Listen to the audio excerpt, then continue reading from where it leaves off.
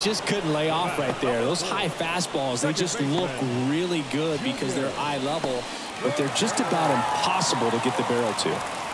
And up next for St. Louis, Junior Cordero, taking his first at bat of the game after entering on defense. Bunt attempt, but that goes foul. Righty to the plate. Oh, and this one's blasted. High and deep. It's on its way. Out of here. Ball game. A massive home run. And the Cardinals walk it off in the 11th.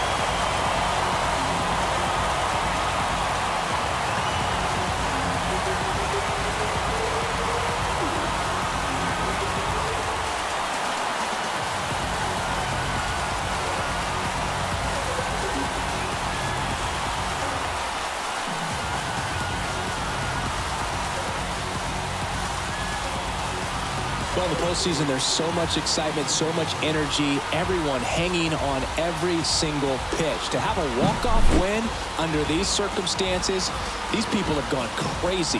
What a nice win, but you got to turn the page quickly to come back for the next game.